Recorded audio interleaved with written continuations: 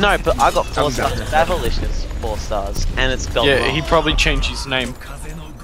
Yeah.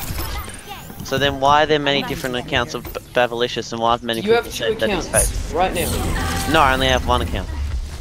So it's Bav.